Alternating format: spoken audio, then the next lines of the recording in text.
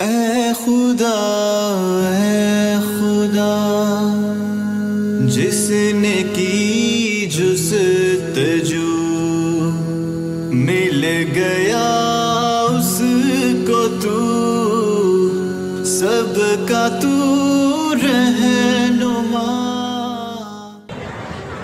খুঁজে পাওয়া বড় মুশকিল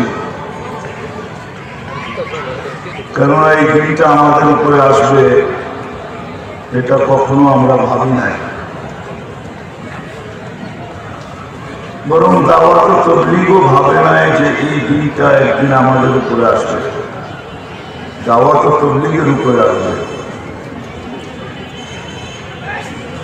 কিন্তু ওই দিকে যাওয়ার আগে আমি একটা জিনিস বোঝাইতে চেষ্টা করব। দিন মানুষের একমাত্র দরকার, একমাত্র প্রয়োজন। কেননা দুনিয়ায় মানুষের হাজারো জিনিসের প্রয়োজন। ওই প্রয়োজন মেটানোর জন্য হাজারো মেল ফ্যাক্টরি কারখানা কোম্পানি চব্বিশ ঘণ্টা সোচ্চার। যে মানুষের এই জিনিসটা প্রয়োজন। আজকে তো একটা সময় চলে আসছে, ঘরে ঘরে পৌঁছে দেওয়া হয়। শুধু অর্ডার দিতে দেরি, ঘরে পৌঁছতে দেরি। না ঠিক না? আমার কথা বুঝুন তো? দুনিয়ায় যত জিনিসের মানুষের প্রয়োজন, এগুলা মানুষের নাগাল পর্যন্ত, হাত পর্যন্ত, ঘর পর্যন্ত পৌঁছানোর জন্য সুব্যবস্থা হয়ে গেছে। কিন্তু আখেরাতে কিন্তু মানুষের একটা জিনিসই প্রয়োজন। সেটা হলো দিন দিন ছাড়া আখেরাতে প্রয়োজন মিটার বিকল্প কোনো রাস্তা নাই। এই জন্য আল্লাহ মানুষকে বুঝাইতে চেষ্টা করছে। ইসলাম। আখেরাতে যদি কেউ ইসলাম ব্যতীত অন্য জিনিস দ্বারা নিজের সমস্যার সমাধান করার চেষ্টা করে আল্লাহর ওয়াদা وهو في الآخرة من الخاسرين তাইলে সে অসফলতা অর্জন করবে এতে কোনো সন্দেহ নেই কেননা আখেরাতে আল্লাহ কোনো বিষয় দেখবেন না যদি বিষয়গুলা দেখতেন আমি আপনাদেরকে বুঝাইতে চাইতেছি পায়ে হাত রেখা নেওয়া যাব যে জিনিসটা বুঝাইতে চাইতেছি ওই জিনিসের দিকে নেওয়া যাব, কিন্তু আগে কিছু বুঝাইতে চাইতেছি। দেখেন একটা সত্য জিনিস। এক ব্যক্তি নবীর ঘরে জন্ম নিল। আর নবীর কোলেই লালিত পালিত বড় হইল। এক স্তর পর্যন্ত পৌঁছল যে সে এখন প্রাপ্ত বয়স্ক বড়, নিজের পায়ে দাঁড়ায় গেল কিন্তু জন্ম কিন্তু তার নবীর ঘরে। লালিত পালিত সে নবীর হাতে। ইসলামের ছেলে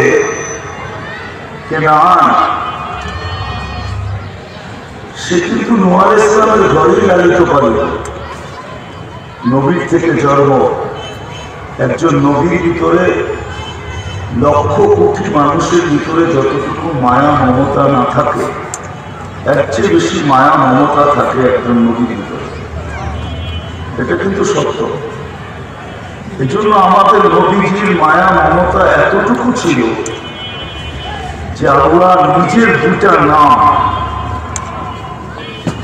রহিম কিন্তু আল্লাহর নাম, রউফ কিন্তু আল্লাহ নিরানব্বই নামের এক নাম রহিম আল্লাহ নিরানব্বই নামের এক নাম।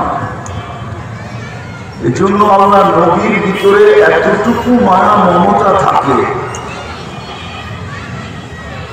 যেটা লক্ষ কোটি না, কয়েকশো কোটি মানুষের ভিতরে যতটুকু মমতা না থাকে, এর চেয়ে বেশি মমতা থাকে একজন নবীর ভিতরে। এই জন্য আল্লাহ দুটা নাম আমাদের নবীকে দিয়ে গেছেন আল্লাহ রউফ, আমাদের নবীও রউফ। لقد جاءكم رسول من انفسكم আজিজুন আলাইহি মা আনিতুম হারিসুন আলাইকুম বিল মুমিনিনা রাউফুর রহিম এটা কিন্তু নবীর সিফত রউফ আল্লাহ না আল্লাহর সিফত কিন্তু আল্লাহ বলতেছে নবীজি আপনার ভিতরে এতটুকু তা আপনাকেও এটা গিফট করা হলো দান করা হলো রহিম বুঝাইতেছি এই জন্য মানুষের ভিতরে গুমরাহি ঢোকে দুই রাস্তায়, কয় রাস্তায়? একটা হলো আকলের রাস্তা দিয়ে? আরেকটা হলো আকিদতের রাস্তা। আকিদত বুঝেন? অতি ভক্তি, অতি এই দুই রাস্তা দিয়ে কিন্তু মানুষের ভিতরে গুমরাহি ঢোকে। আপনি মনে হয় দেখছেন কি দেখেন নাই? লক্ষ্য হয়তো করছেন বা করেন নাই। গুলিস্তানের এখান দিয়ে যখন যাবেন, তো মাজারটা যখন আসবে, তো বহু ড্রাইভাররা দেখবেন হাঁটু চায় সালাম দেয়, ঠিক না? আচ্ছা ওরা যদি প্রশ্ন করেন, তুই এখানে সালাম দিলি কাকে? বা কেন দিলি? তো সে বলবে, এটা মাজার জন্য মাজারে সালাম দিছি। ঠিক না? চলেন আপনাদেরকে কিতাবের থেকে একটা কাহিনী শোনাই। মুসা আলাইসালামের সাথে একদিন শয়তানের দেখা। তো বলতেছে তুই তো আপনি তো নবীর সাথে কথা বলেন। একটু আমার ব্যাপারে কি কিছু বলবেন? বলছে, কি বলতে হবে? বলছে, আমি কিন্তু তবা করতে চাই। আমার জন্য কি কোনো সুযোগ আছে? এটা জিজ্ঞেস করতে অসুবিধা কি? কত কথাই তো জিজ্ঞেস করি আল্লাহকে ঠিক না? আজকে জিজ্ঞেস করে নিব। তো যে জিজ্ঞেস করছে আল্লাহ, শয়তান কিন্তু তবা করতে চায়। রাস্তা খোলা আছে? আল্লাহ বলে হ্যাঁ বিলকুল খোলা আছে। ওকে বলো, আদম আল ইসলামের খবরে যে চেষ্টা করতে মাফ করে দেব। তো বিকেলে দেখা হয়েছে। বলছে কত কথন হয়েছে আল্লাহর সাথে? বলে বিলকুল হয়েছে বলে কি? বলে কবরে যে চেষ্টা করো মাফ করে দিবে? তো দাদা বলতেছে, শুনেন, জিন্দাটা রেখে করলাম না মুদ্রাটা রেখে করলাম জিন্দাটাকেই আমি এটা বলছি অন্যটা বোঝানোর জন্য। জিন্দাটাই তো করলাম না মুদ্রাটাকে কি করব? অথচ ড্রাইভার বলতেছে, কবরে সালাম দিলাম মাজারে সালাম দিলাম। আচ্ছা জিন্দা থাকতেই তো এই অলির কাছে তুমি যাও না, এখন মরার পরে কি সালাম দিবা, ঠিক না? ঠিক না? এটা কিন্তু ভক্তির রাস্তা দিয়ে ঢুকছে। এটাকে বলে, এটা কি সঠিক সালাম দিল যে? আপনাদের বিবেকে কি বলে? এটা কিন্তু ভক্তির রাস্তা দিয়ে ঢুকছে। কোন রাস্তা? আমার কথা কিন্তু বুঝেন, কেউ অপব্যাখ্যা করেন না। মানুষের ভিতরে গুমরাহি ঢোকে দুই রাস্তা দিয়া। একটা হলো ভক্তির রাস্তা একটা আকলের রাস্তা। সর্বযুগেই যতজনের উপরে গুমরাহি ঢুকছে, নোয়াল ইসলামের ছেলে কেনান বাপকে মানতে পারে না। তো বসে নৌকায় আসো। মানো ঠিক আছে, কমসে কম বাঁচার জন্য নৌকায় আসো। তোর আকল কি বুঝেছে যে নৌকা কত ছোট? পানির উপরে বাজলে পাহাড় কত উঁচা? পানি ওই পর্যন্ত পৌঁছবে না।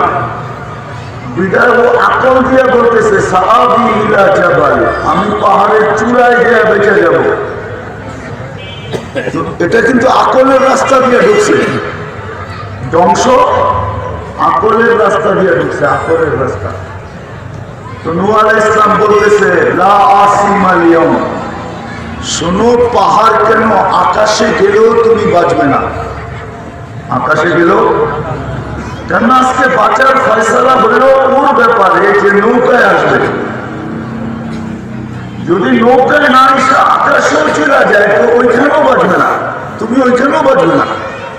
কথন কথন চলতে ছিল। এখনও কথাবার্তা শেষ হয় নাই। কোরআন বলতেছে, ফাহারা বাইনাহুম আল মাউজু ফাকানা মিনাল মুগরাকিন মধ্যখান দিয়ে ঢেউ ঢুকছে বাপকে বেটার থেকে পৃথক করে ফেলছে এবং ওইখানেই ডুবায় শেষ করে আছে যেটা আমি বুঝাইতেছিলাম, নবীর ঘরেও যদি কেউ জন্ম নেয়, তাইলেও কিন্তু আখেরাতে বাঁচতে হলে বাপের পরিচয় দিয়া বাঁচা যাবে না। আখেরাতে বাঁচার জন্য একমাত্র জিনিস হল ইসলাম আর দিন। ইসলাম আর দিন। এখন আসে জায়গায়। দুনিয়ায় হাজারো জিনিসের প্রয়োজন। কোম্পানিও আছে, কোম্পানিও ফ্যাক্টরিও আছে, কোম্পানিও আছে। এবং ডিস্ট্রিবিউটারও আছে। ঘর পর্যন্ত পৌঁছায়। আমাদের দেশে নিয়ম আছে। ছোট্ট থেকে ছোট্ট একটা জিনিসও যদি আপনি বানাইতে চান মার্কেটিং করতে চান তাহলে বাংলাদেশে একটা সংস্থা আছে। ওই সংস্থার একটা সিল লাগবে। কিন্তু ওই সংস্থা মনোগ্রামটা দিবে আপনাকে, কিন্তু টেস্টিং এর পরে দিবে। ঠিক না? বুঝাইতে পারতেছি? এটা কিন্তু মনে রেখেন এটা সত্য? না, আমার কথাটা সত্য কিনা? ওইখানে দিবেন ওরা টেস্ট করবে।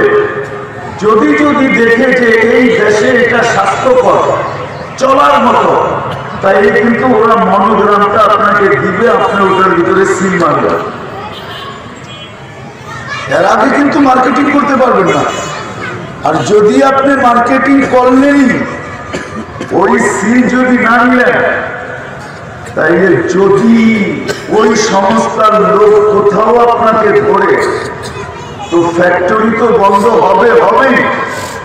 উল্টা উল্টা জরিমানা দিতে হবে। আসল হলো আমাদের আখেরাতে দরকার দিন। দিন ছাড়া বিকল্প কোনো রাস্তা নাই। চাই আপনি নবীর ঘরে জন্ম নেন, চাই আপনার জীবনটা নবীর ঘরে কাটো দ্বিতীয় আরেকটা জিনিস দেখাই। রাত পোহালি কালকে ঈদে মিলাদুল নবী, ঠিক না?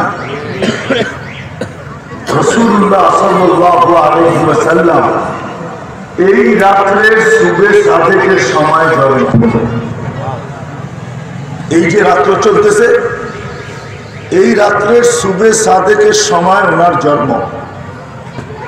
ওনাকে লালিত পালিত করছেন চৌচল্লিশ বছর দশ দিন। আবু তালেব কোলে আর সিনার ভিতরে রেখা। কতদিন? কেউ নবীর কোলে লালিত পালিত, আর এখানে নবী একজনের কোলে লালিত পালিত। জিনিসটা কিন্তু ভিন্ন। চিন্তার বিষয় কিন্তু চিন্তার বিষয়। নবী উনার সিনায় লালিত পালিত। আবার কোন মামুলি নবী না। দুজাহানের বাদশাহ, সৃষ্টির সর্দার, সৃষ্টিরও বাদশাহ, নবীদেরও ইমাম, নবীদেরও নবী। উনি লালিত পালিত হইতেছেন। আমার কথাটা ধ্যান দিয়ে শুনেন কিন্তু। আমার যে প্রথম দাবি, যে গুমরাহি লোকের দুই রাস্তা দিয়া একটা হলো অতি গভীর রাস্তা আর একটা হলো এটা মনে রাখতে হবে মনে না রাখলে আপনি হক বুঝবেন না। কেননা হক কোনো মামুলি জিনিস না। হক আল্লাহ সবাইকে বুঝ দেন না। সব মানুষ মুসলমানের ঘরে জন্ম নিতে পারে না। মুসলমানের ঘরে ওই জন্ম নেয় যাকে আল্লাহ নির্বাচিত করে মুসলমানের ঘরে পাঠান। নাইলে দুনিয়ায় সাড়ে সাতশো কোটি মানুষের ভিতরে, পনে আটশো কোটি মানুষের ভিতরে ছয়শো কোটি মানুষ কাপের হইত না। ও মুসলমানের ঘরে আসতো। না না, মুসলমানের ঘরে সবাই আসতে পারে না।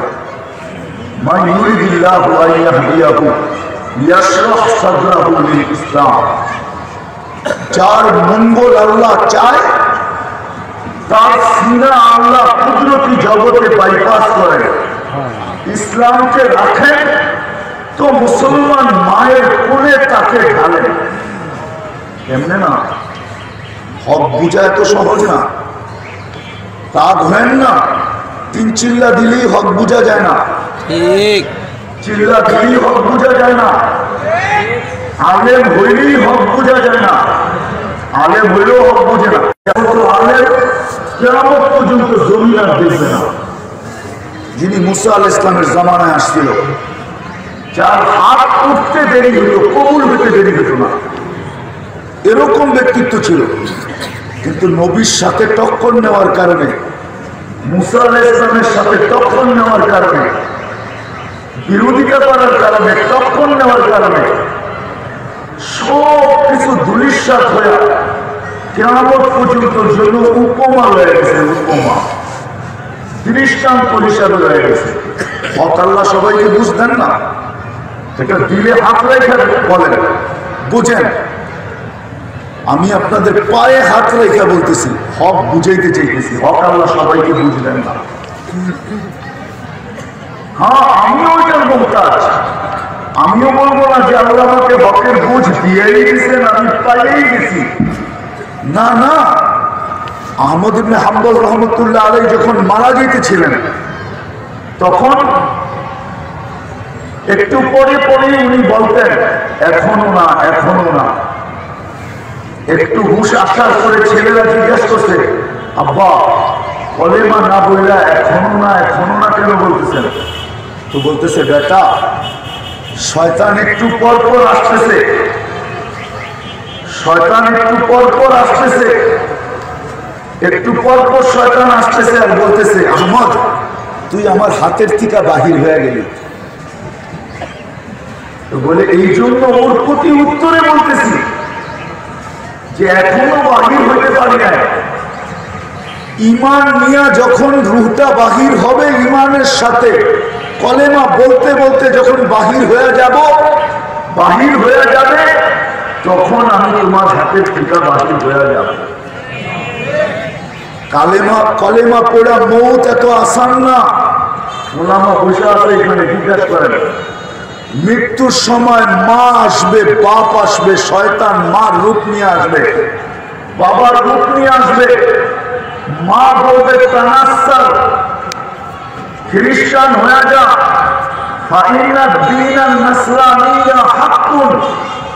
খ্রিস্টান ধর্ম হক।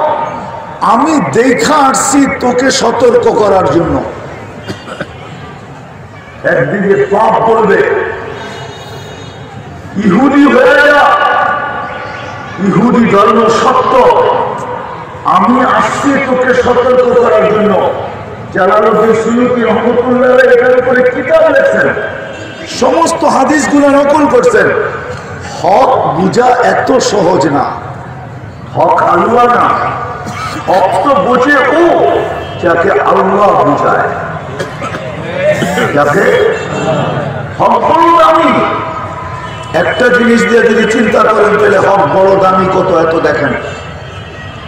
চলতেছিলাম চাচার কিসায় এটার ভিতরেই দেখাবো। যে হক বড় দামি জিনিস। হকের বুঝ আল্লাহ সবাইকে দেন না। এত আসান না হকের বুঝ। হকের বুঝ আল্লাহ সবাইকে দেন না হকের বুঝ এত আসান না। এত সহজ না হকের বুঝ। হক বড় দামি শুধু হক না হকের বিন্দুও বড় দামি? চলেন আপনাদের সাজায় আমল থেকে একটা হাদিস দিয়ে উদাহরণ দিই। এক ব্যক্তি কেমতের মাঠে দাঁড়াবে। যেদিকে তাকাবে ওদিকে পুর গুণা দিয়েই ভরা। পরিমাণ গুণা এরকম ও গুনবে, একটা, দুটা গুনতে গুনতে নিরানব্বইটা গুনবে।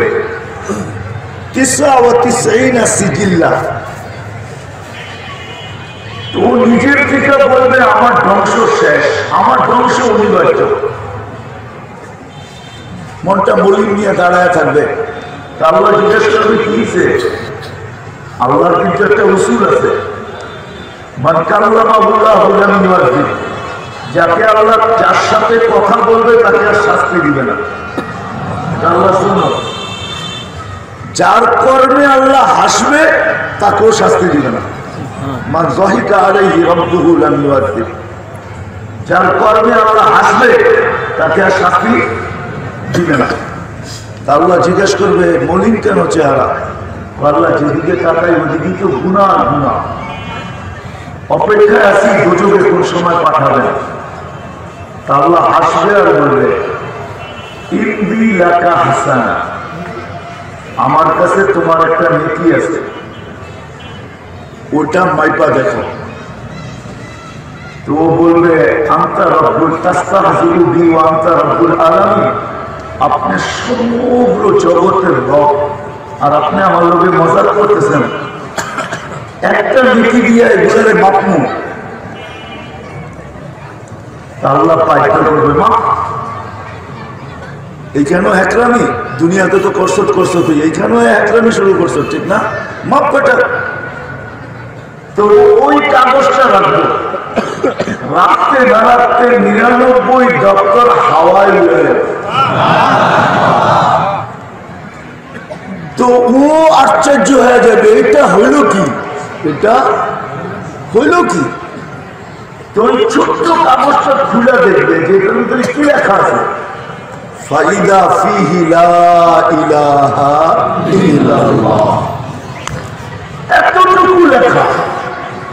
আমাদেরকে বুঝেছে হক কত দাম সবচেয়ে বড়। হক, ঠিক না? হক কত বড় দামি। আর হকের বুঝ আল্লাহ সবাইকে দেন না কিন্তু। এটাও মনে রাখবেন। তিন চিল্লা দিলেই হকের বুঝ পাবে না। চিল্লা দিলেই হকের বুঝ আসবে না। আলেম হইলেই হকের বুঝ হবে না। নবীর ঘরে জন্ম নিলেই হকের বুঝ হবে না। নবীকে লালন পালন করলেই হকের বুঝ পাবে না। হকের বুঝ তো হলো আল্লাহ যাকে চায় তাকে দিবে। যাকে চায় তাকে দিবে।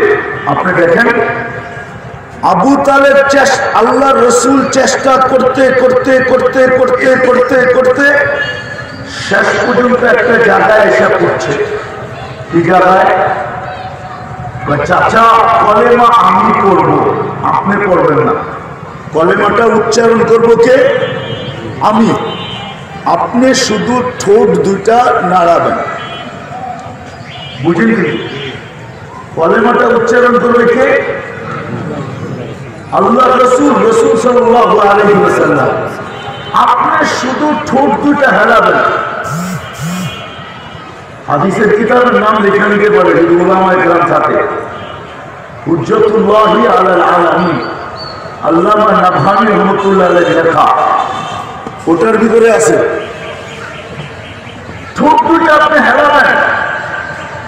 কিন্তু বান্দর চতুর্দিক দিয়ে দাঁড়ায় আছে। বান্দর বোঝেন? হ্যাঁ? না। আবু সাইবা, সব মক্কার বান্দরগুলো চতুর্দিক দিয়ে দাঁড়ায় আছে যে ঠোঁট হেলায় কিনা দেখলে আল্লাহ রসুল পড়ছেন, কিন্তু আবু তালেব ঠোঁট হেলানোরও পায় না এটা দিয়ে বোঝেন হক কতটা।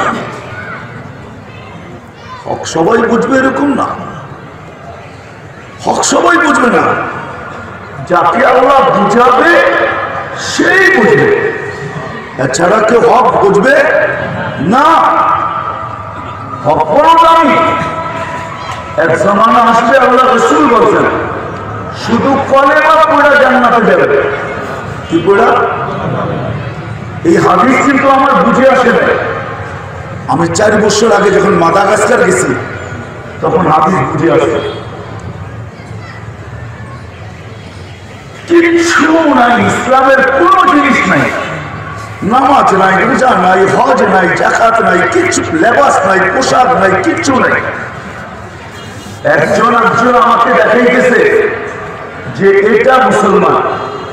তো আমি বলতেছি, এটা কি মুসলমান? আমাকে বলতেছে, হান্ড্রেড পার্সেন্ট মুসলিম। অথচ পোশাক ওই মহিলার কি? এটা এখানে বর্ণনা দেওয়া যাবে না। কিন্তু সে হলো হান্ড্রেড পার্সেন্ট। আমি মোবাইল থেকে একটা পর্দা আলাদা দেখেছি, যে পুরো মেকআপ হাত, মোজা, পাও, মোজা সব সহ। আমি কই, এটা যদি হান্ড্রেড পার্সেন্ট মুসলমান হয় তো এটা কি? এখন ওর চোখ খুলে গেছে। আরে, ঠিকই তো। এটা তো কিছুই দেখা যায় না, খালি কালা আর কালা। আমি যেটারে হান্ড্রেড পার্সেন্ট মুসলমান করলাম এটা তো কিছুই দেখা নাই। তো এটা হান্ড্রেড পার্সেন্ট হলে এটা তো এক লক্ষ পার্সেন্ট মুসলমান হইব, ঠিক না? আমার কথা বুঝাইতে পারছি? তো মাথাটা নত হয়ে গেছে, কিন্তু আমি পিঠে হাত দিয়ে বলছি, বুঝে আসছে, তোমরা জান্নাতে যাবে। আল্লাহ রসুল তোমাদের জন্যই বলছেন। কি বলতেছে? শুধু কলেমাটা আমাদের দিলের ভিতরে আছে।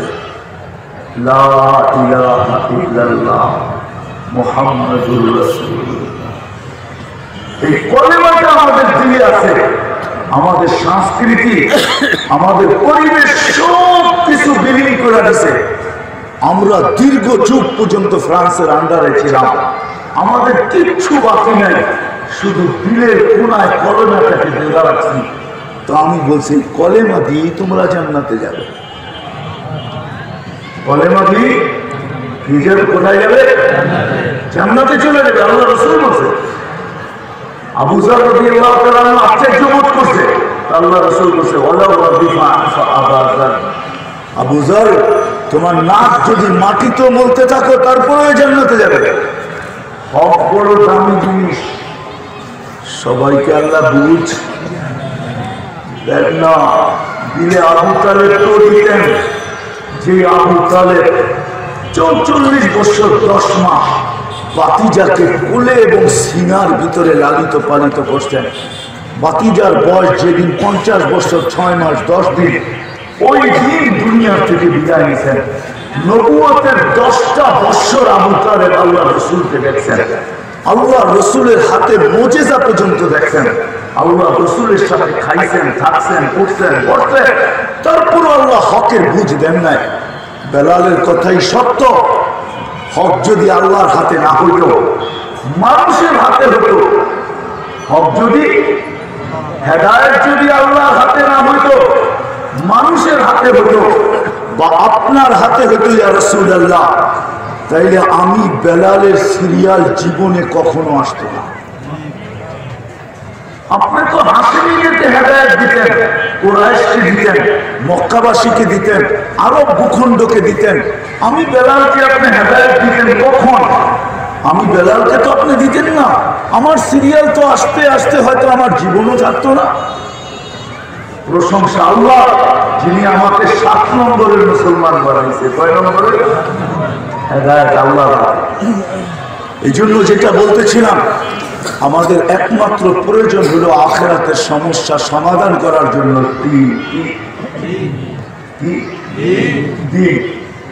দুনিয়ার সমস্ত জিনিসে যদি যাচাই করেন, কোন সংস্থা নির্ধারিত থাকে যে বেজাল মুক্ত করার জন্য, স্বাস্থ্যমত জিনিসকে সারা দেশের ভিতরে চালানোর জন্য। তাইলে মেরে দোস্ত, আপনার একটু নিজেকে নিজে প্রশ্ন করেন, যে দিন ছাড়া আখেরাতে কোনো রাস্তা নাই, গতি নাই। ওই দিনের ব্যাপারে আমি কাকে অনুসরণ করব বা করব না। এই ব্যাপারে কি আল্লাহর নবীর থিকা কোনো দিক নির্দেশনা নাই? কি বলেন আপনারা? চলেন, আমার একটা কাহিনী শোনাই। আমি এক সেমিনারে গেছি, অনেকদিন আগের কথা। সেমিনারে গেছি, এলেভেনের কথা বলতেছি আমি। বয়ান সবাই করছে, আমিও করছি। কিন্তু ওইখানে যে সভাপতি ছিল, উনি আমাকে জিজ্ঞাসা করছে, হুজুর, সবাই তো বললেন, সব সবাই তো বললেন। কিন্তু সবার কথা তো এক না। আপনি তাবলিগাল আন্দাজে তাবলিগের কথা বললেন। উনি আরেকটা বলল, উনি আরেকটা বলল, আমরা কাটটা মানবো? আমরা কাটটা মানবো? যেমন বর্তমানে আমাদের ভিতরে আল্লাহ রসুলের একটা হাদিস আছে। ফেরকা? সব কিন্তু মুসলমান, কাফের না। আবার প্রত্যেকের দাবিও থাকবে কুল্লু না প্রত্যেকের দাবি থাকবে, আমি এক নম্বর, আমি আমি হকের উপরে আছি। আবার এটা প্রমাণ করার মতো পর্যাপ্ত দলিলও থাকবে, প্রমাণও থাকবে। যেমন একটা কথা আমাদের ভিতরে প্রচলিত বর্তমান, সবার কাছেই কিন্তু আলেম আছে না নাই? হ্যাঁ? আপনাকে যদি বলি কেউ আবার রাগ হয় না কিন্তু। পায়ে হাত রেখা বলতেছি, আপনি যদি বলেন যে এই মাঠে আমি দেওয়ানবাদীর জলসা করব, আর ওনার কাছে গিয়ে যদি বলেন, হুজুর, আমাকে কিছু আলেম দেন, যারা আপনার পক্ষে কথা বলবে, পাওয়া যাবে যাবে না? হ্যাঁ করব, ভাড়া করে। পাওয়া যাবে? আচ্ছা আক্রোশী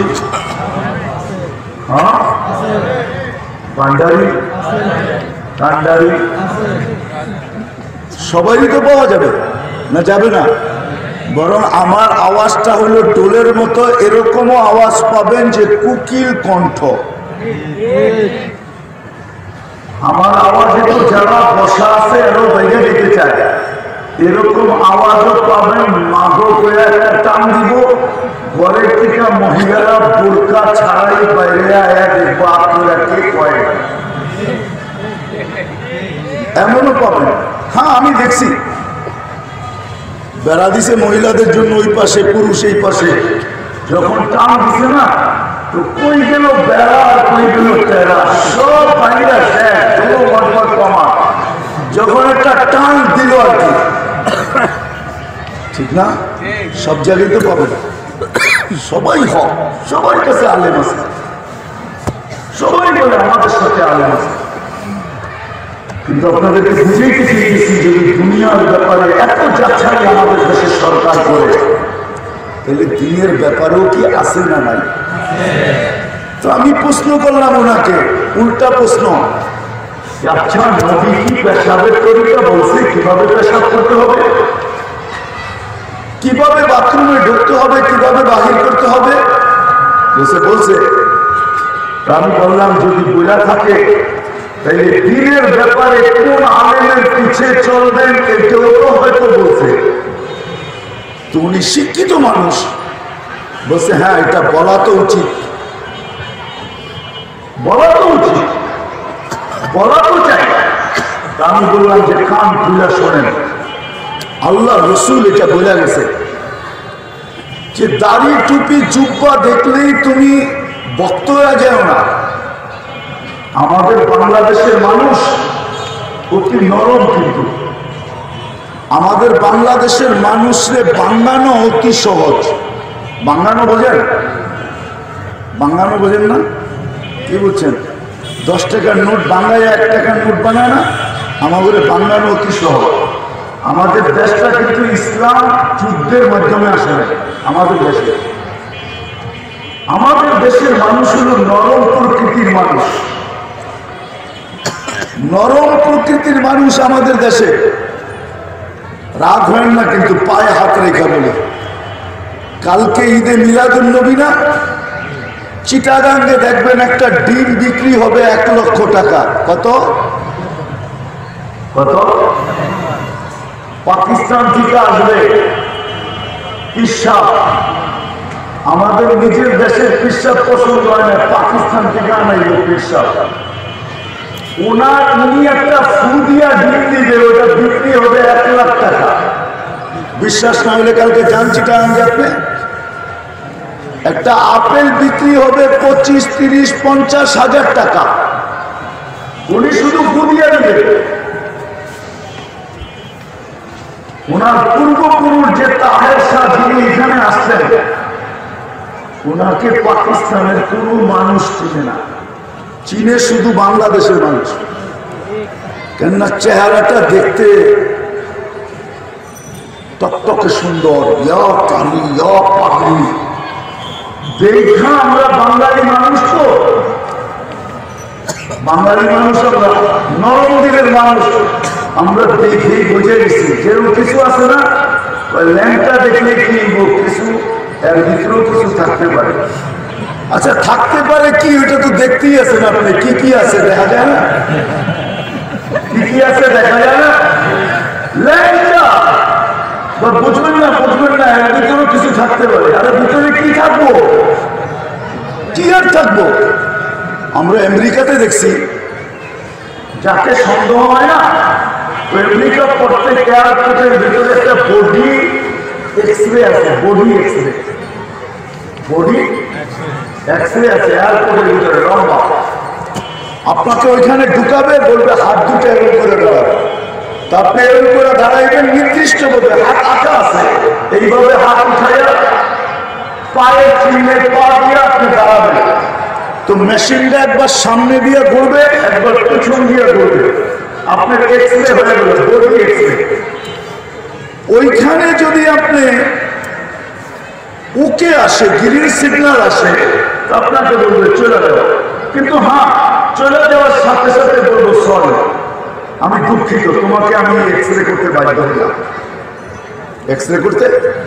অনেকটা মানুষ পুরা ল্যাংটা। ওকে তো বডি এক্সরে করে দেখানো দরকার ভিতরে কি আছে দেখি না। হ্যাঁ? নাইলে তো বাকি সব দেখাই যায়। আমাদের দেশের মানুষ হলো নরম প্রকৃতির। এই জন্য আমাদেরকে ভাঙ্গানো সহজ। আমাদেরকে ভাঙ্গানো সহজ। আজকেও দাওয়াত তবলিগের যে মাসলা। শুধু বাংলাদেশ নিয়া যেই পরিস্থিতি এই পরিস্থিতিটা শুধু বাংলাদেশে আর দুনিয়ার কোথাও নাই। আবার ভুল বুঝেন না কিন্তু। সবাই সাত সাবের পক্ষে সারা দুনিয়া এটা না। ভুল বুঝেন না কিন্তু। সারা দুনিয়া ওনার পক্ষে এটা না। সারা দুনিয়া একটি পার্সেন্টের বেশি ওনার বিরুদ্ধে। কিন্তু ওইখানে এরকম দ্বন্দ্ব নাই যেরকম দ্বন্দ্ব আমাদের দেশে আর সারা দুনিয়া যারা দ্বন্দ্ব করতেছে, ওনার পক্ষ নিয়ে Europe, America Canada Australia, Japan, সব কিন্তু আমাকে বাংলাদেশিদেরকে বাঙ্গায়া খাইতেছে। সব আমাদের বাংলাদেশে। ওই যে সাদা সাদা মাথা, সরস শহর এই জন্য আমাদেরকে ভাঙাইতেছে।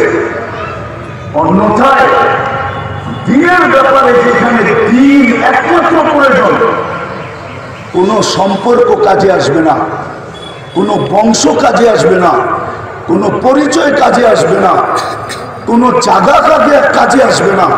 আপনি আমাকে বুঝান? যদি জায়গা দেখা আল্লাহ কাউকে ছাড় দিতেন তাহলে তো মক্কাবাসীদেরকে আগে ছাড় দেওয়ার দরকার ছিল না? আপনার বুঝে কি বলে? মক্কার চেয়ে উত্তম জায়গা তো নাই। আছে? যেটার নামই হেরেন যেখানে আবু তালেব জন্ম নিল, মৃত্যু পর্যন্ত ওইখানে রইল। হেরেমের ভিতরেই যার মৃত্যু হইল, হেরেমের সীমানা তো শুধু মসজিদটুকু না কোথাও আঠারো কিলোমিটার, কোথাও নয় কিলোমিটার, কোথাও তিন কিলোমিটার, কোথাও সাত কিলোমিটার হলো হেরেমের পরিধি ওটার ভিতরে যার মৌত হইল কবরটা পর্যন্ত যার জান্নাতুল মোয়াল্লায় হইল যারা হজে গেছে, মক্কার কবর দেখতে গেছেন না? আবু কবর কিন্তু জান্নাতুল মোয়াল্লায়। কবরটাও তো জান্নাতুল মোয়াল্লায়। কিন্তু কোথাও তো আল্লাহ কথা বলেন না যে আপনাকে ছাড় দিব। এর জন্য আমি যেটা বুঝে গেছি, আমি কারও বিরুদ্ধে বলতে চাই না। কিন্তু হক বুঝাবো আপনাকে। হক বড় দামি জিনিস। এটাকে বুঝতে হয়। চায়া চায়া নিতে হয়। এই জন্য আল্লাহ হক ওই ব্যক্তি, কোন ব্যক্তিকে দেন না। যে চোখের পানি ঝরায় না চাবে, তাকে আল্লাহ হকের বুঝ দিবে না। হক বড় দামি জিনিস।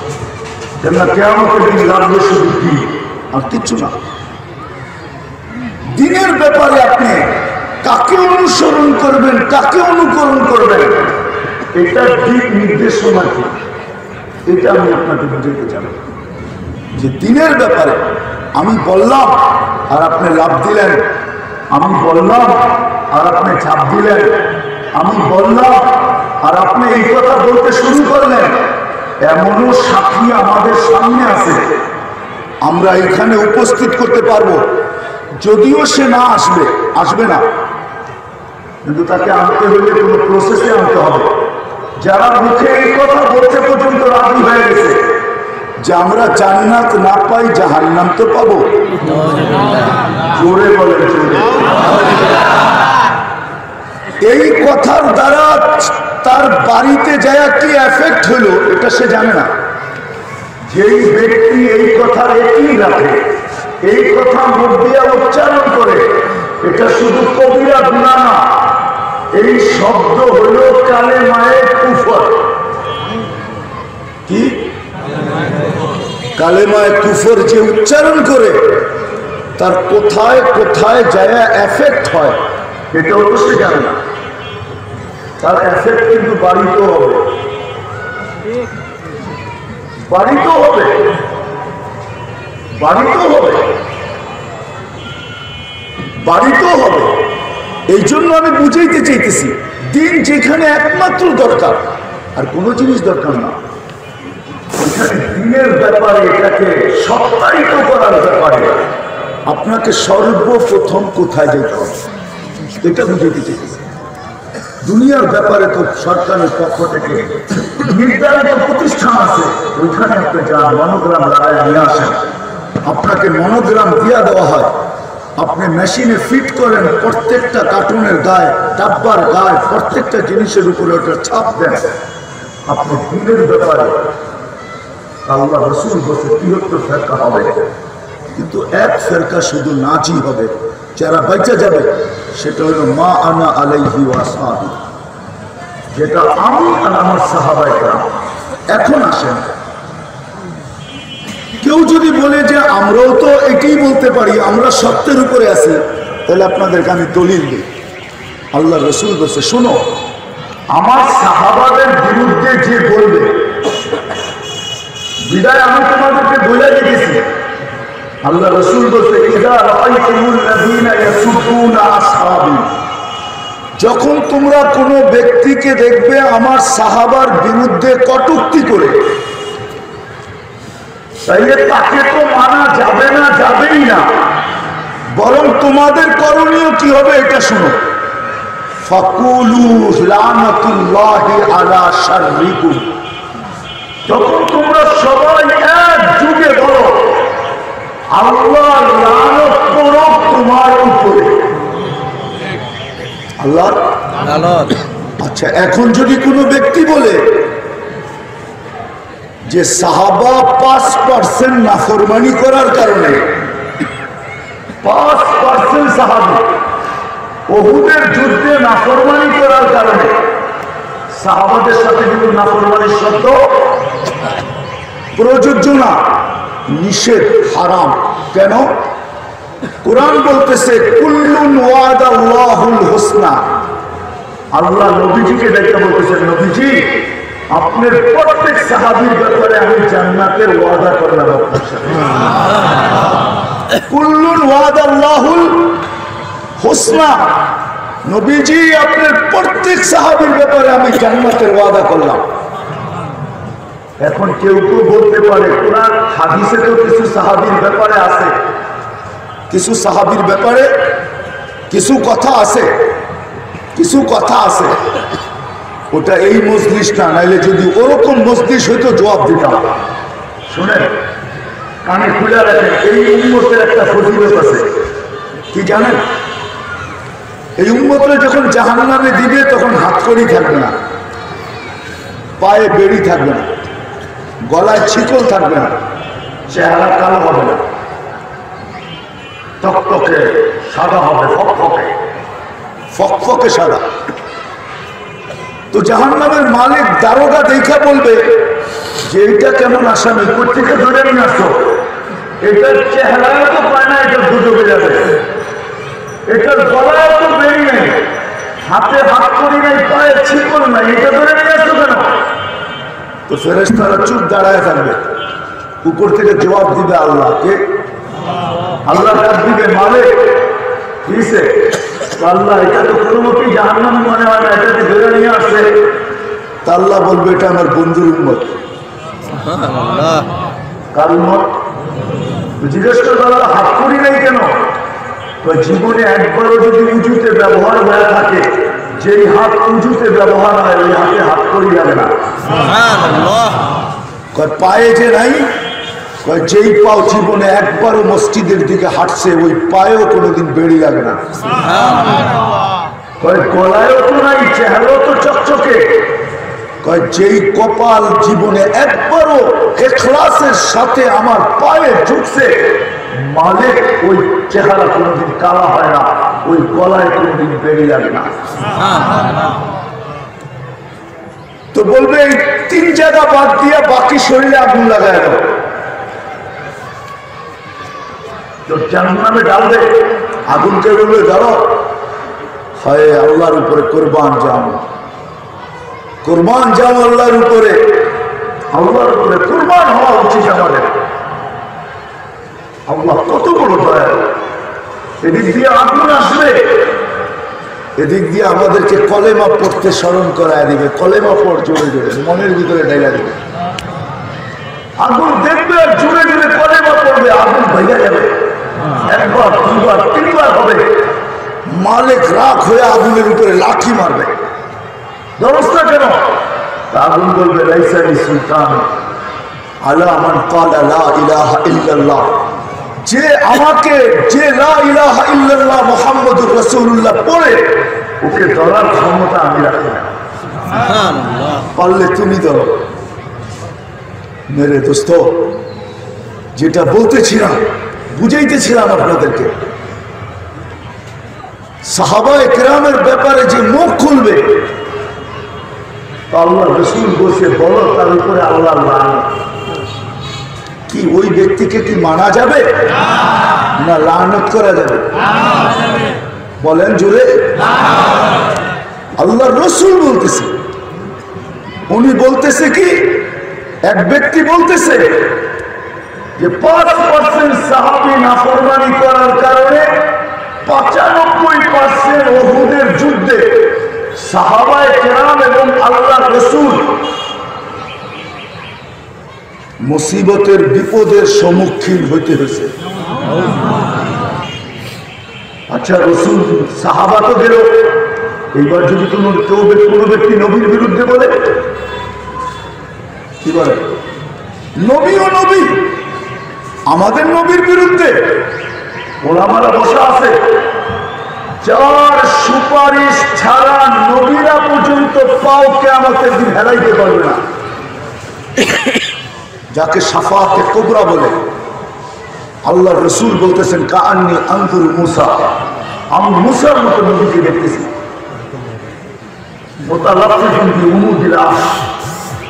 খুঁটি ধরে দিতেছে আর বলতেছে উম্মি। আমি মাকে আমার না। নফসি, আপনি আমাকে বাঁচায় সাফাতে কুবরা নবীরা পর্যন্ত না। ওই যে তাকে যদি কেউ বিরুদ্ধে বলে, এই কথা যদি বলে যে উনি চিরাচরিত নিয়মের থেকে সরার কারণে মুসিবতের শিকার হয়েছেন। অথচ ওনাকে আল্লাহ বলতেছে, ওমা হাওয়া। আমার নবী ঠোঁট পর্যন্ত হেরায় না আমার হুকুম ছাড়া। ওইখানে কোনো একটা সিদ্ধান্ত উনি আল্লাহর হুকুম ছাড়া নিবে কি করে বলেন? যেইখানে নিছেন ওইখানেই আল্লাহ কোথাও বসে চিরাচরিত নিয়ম ছিল, আম্মা যাদের অলিমা আল্লাহ রসুল খেজুর আর পনির দ্বারা করছেন এক ব্যক্তি বলে, আমি নাম নিতে এই জন্য রাজি না। কারণ নাম নিলে তো সব হইব না, আল্লাহর নাম নিলে সব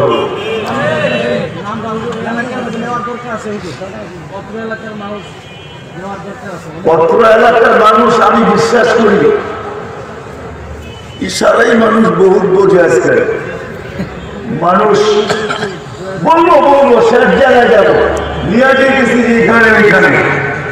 উনি বলতেছেন মেরে দোস্ত কয়টা বলব আর কয়টা পর্যন্ত সারা রাত্র পার হয়ে গেবে আমাদের ওলামাই কেন তো আশি পঁচাশিটা বলে আমার কাছে তো আড়াইশোর উপরে জমা আছে আড়াইশোর উপরে উলুম দেওবন্দের চিঠি আকারে উপস্থিত রাখা আছে প্রত্যেকটা আলাদা চিঠি চিঠি পাবে উলুমের নেটে গেলে আপনিও পাবেন আমিও ওইখান থেকেই সংগ্রহ করছি কয়টা বলবেন? বাল বাঁচতে গেলে তো কম্বলই থাকব না। ঠিক না? শুধু আমি বাঁচার জন্য বলতেছি, কসম খোদা। সে বলবে যে, আমরা কাউকে তাই না আনতে চাইতেছি না, আমাদেরকে বাঁচতে হবে। সাধারণকে বাঁচতে হবে, এই জন্য বলতেছি। নাহলে আমার অভ্যাস না, কোথাও কেউ অজাহাতি জুড়ে দেখে নেয়। যে আমি কোন নাম নিয়ে কাউকে বলতে এটা আমার অভ্যাস না।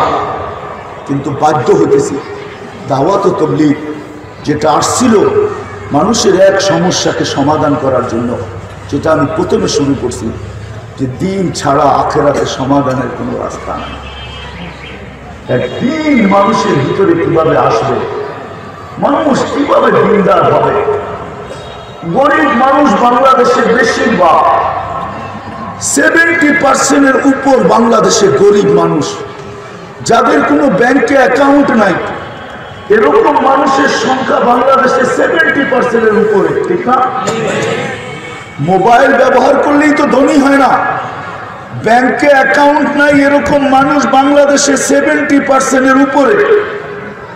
যারা মধ্যবিত্ত মানুষ কোনো মতে জীবনটা কাটায় যেতেছে যাদের দুয়ারে জান্নাত লুটুপুটু খাইতেছিল, গড়াগড়ি খাইতেছিল, শুধু হাত বাড়ায় ধরা শুধু দরকার ছিল। এদেরকে জান্নাত হাত দিয়ে ধরা দেওয়ার জন্য বহুত কান্নাকাটির পরে আল্লাহ রসুল যেরকম কানতে কানতে কানতে কানতে কানতে কানতে আল্লাহ বলতেছেন দলান আমরা আপনাকে এতটুকু পেরেশান পাইছি, এতটুকু পেরেশান। এতটুকু ব্যথিত পাইছি, কখনো হেরায় দৌড়াইতেছেন, কখনো এদিকে ছুটতেছেন, কখনো ওদিকে ছুটতেছেন। আপনাকে পেরেশান দেখা আমরা ঠিক থাকতে পারি না ফাহাদা, আপনাকে আমরা হেদায়তের প্রোগ্রাম হাতে উঠাইয়া দিছি। যাতে সারা দুনিয়ার মানুষ হেদায়ত পাওয়া যায়, আপনার পরেশানি দূর হয়ে যায়। তারপরও তো হয় না হইতে হইতে হইতে হইতে হইতে হইতে আরও সে যখন উঠছেন তখন নিজে নিজে ভাবছেন যে আজকে বড় সুযোগ। সবচেয়ে বড় জিনিসটা আজকে আল্লাহর কাছ থেকে কি করাবো? মঞ্জুর করাবো, আদায় করাবো। তারও সে উঠার পরে আল্লাহ জিজ্ঞেস করছেন, বন্ধু, কি নিতে আসছেন? কি চাইতে আসছেন? তো বিলকুল চোখের পানি ছেড়ে দিয়ে বলতেছে লাস আলুকা বিনতি ফাতেমা ওয়ালা আম্মি আব্বাস চাচা কোচাইতে আসে না মেয়ে কোচাইতে আসে না কেন আসছেন পাঁচ আলুকা উন্নতি উম্মর চাইতে আসছে বলছে কেন বন্ধু কান্তা রব্বুল করিম আনান নবীর রাহিম আপনি রব্বুল করিম শুরুতে আমি নবী রাহিম শেষে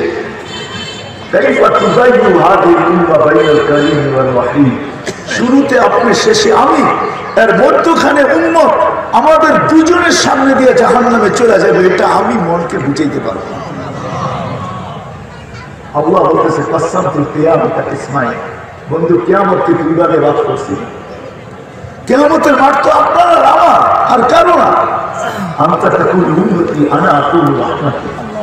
আপনি বলবেন উন্নতি আমি বলব রহমতি।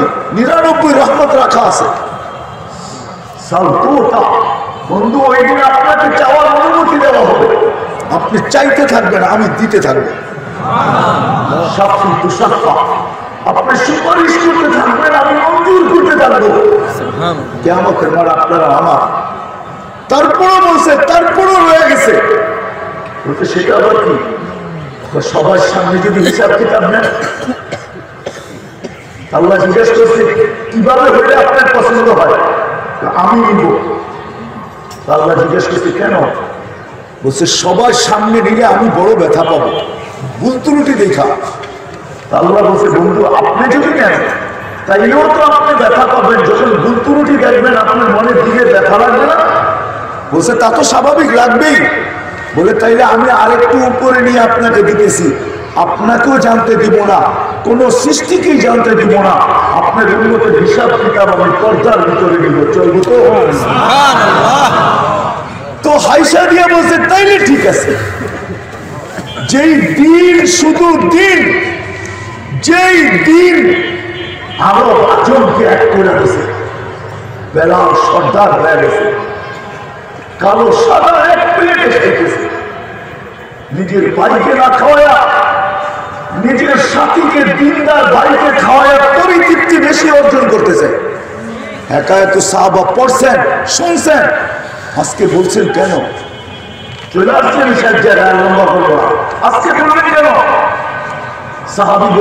ভাই যখন নিয়ে জোরে বান। কেন? কর কাছে অনেক মাল আছে। কিন্তু ভাই, একজন মুসলমান একজন মুসলমান না। যে মুসলমানরা তাকে গাঞ্জা নিয়ে আসছে সাহাবাইকরা তো মসজিদের দেওয়ালে খুঁটির লোকে বাঁধতেছে। তো বাই বলতেছে, জোরে বান ওর মার কাছে অনেক মাল আছে। বলতেছে, তুমি আমার মার পেটের ভাই। দেখ দিনী ভাই মার পেটের ভাই চেয়েও বড়। এরকমই ছিল। আজকে দুই হাজার উনিশশো সন থেকে নিয়ে দুই হাজার আঠারো পর্যন্ত যে কাজটা এরকম ছিল, যেটা এক চোখের পানির পরে অস্তিত্বে আছে যেমন হুজুর ইসলামের চোখের পানির পরে আল্লাহ হেদায়তের প্রোগ্রাম দিয়েছেন। ইলিয়াস চোখের পানির কারণে। শুধু ইলিয়াস রহমতুল্লাহ না, উনি উত্তরসূরি হলেন শাইখুল হিন্দ মাহমুদুল হাসান রহমতুল্লাহ আলাই দারুল দেওবন্দের সন্তান উনি। দারুল দেওবন্দে পড়ালেখা করছেন। খলিল আহমদ সাহারানপুরি রহমতুল্লাহ হলে ওনার পীর। মাহমুদুল হাসান রহমতুল্লাহ ওনার একটা বাংলা প্রবাদ বাক্য আছে সাজুর মায় তো মন্দ নয় গো সৈয়দ বংশের জি। জি বোঝেন? মেয়ে আর কি? কয়, গাই বালো তার বাসুর বালো, দুধ বালো তার ঘি। রহমতুল্লাহ এমনি হয় না দারুল উলুম দেওবন্দের সন্তান।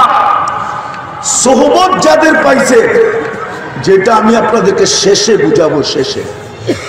সোহবত যাদের পাইছে ওই সোহবত তার ভিতরে আগুন ধরায় যে মানুষের দুরবস্থা দেখা দুনিয়ামুখী হওয়া দেখা আখেরাতকে ভুলা দেখা।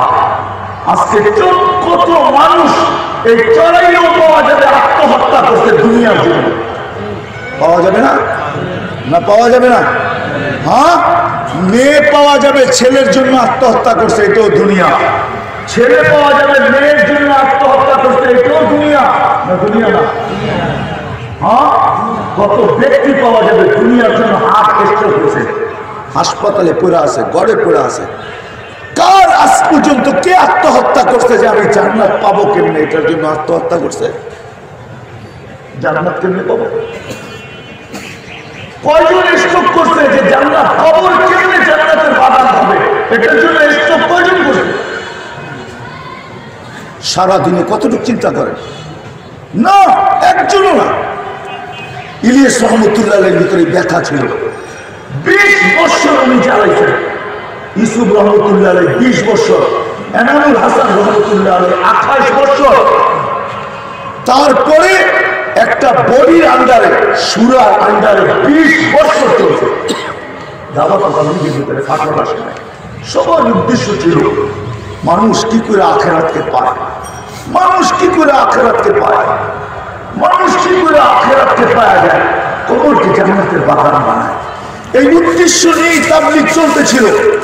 দুনিয়ার কোনো দেশ নাই যেখানে না করছে। আজকে কেন এই অবস্থা হলো? মেরে দোস্ত, শুধু কারণ লম্বা কিছু না কিছু উদ্বাদ কারণে যে পদ্ধতি চিরাচরিত একানব্বই বছর চলে দেওয়ার কারণে এই কথাগুলো কেউ আশা করে তো বাংলাদেশে আসছে কয় বছর জানেন? কয় বছর কারও জানা আছে? পারফেক্ট আমারও জানা নেই। আব্দুল আজিজ স্যার রহমতুল্লাহ আলী আছেন বাংলাদেশে তাবলিগ, বড় হল তাবলিগ বাংলাদেশে হয়তো পঞ্চাশ, ষাট বছর, সত্তর বছর হবে। বাহির হওয়ার সাথে সাথে বাংলাদেশে আসে না তা বাংলাদেশে কি এর আগে মুসলমান ছিল না? কি বলেন? হ্যাঁ? ছিল। সত্য তো? ছিল কি ছিল না? হ্যাঁ? ব্রিটিশের আমলে সবচেয়ে বেশি মুসলমানই তো বাংলাদেশে ছিল। যখন বাংলাদেশ স্বাধীন হয়, যখন বাংলাদেশ ইন্ডিয়ার থেকে ভাগ হয় পাকিস্তান, তখনও তো বাংলাদেশে সবচেয়ে বেশি মুসলমান পাকিস্তানে কম। ঠিক না? সাড়ে সাত কোটি তো তখনও বাংলাদেশে। বাংলাদেশের ইসলাম তো আজকে নতুন না। বাংলাদেশে তো মদিনার সময়ের ইসলাম। চার সাহাবি মুসলমান বানাইছেন। এতদিন ইসলাম বাংলাদেশে টিকা ছিল কি করে? আপনারা আজকে নতুন নতুন আয়া করতেছেন হুজুররা কিছুই বোঝে না। সব আমরা বুঝি। হুজুররা সব বিক্রি হয়ে গেছে। আপনারা কেউ বিক্রি হন নাই। আপনারা যে বিক্রি হন নাই প্রমাণটা কি? হ্যাঁ? আমি যদি কই আপনারাও বিক্রি হয়েছেন হুজুররা বিক্রি হয়েছে আল্লাহর হাতে। আর আপনারা বিক্রি হয়েছেন ব্যক্তির হাতে।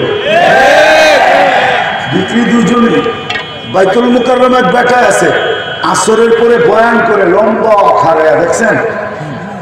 পূর্ব বাইতুল মুকাররমের গেটে যেদিকটা একটা গুলিস্তানের দিকে, দেখবেন এক বেটা দাঁড়ায়া আমি ছোটবেলার থেকে ওরে দেখতেছি। যখন একবারে ছোট, এখন এখন পর্যন্ত দেখতেছি ওই আসরের পরে বয়ান করে।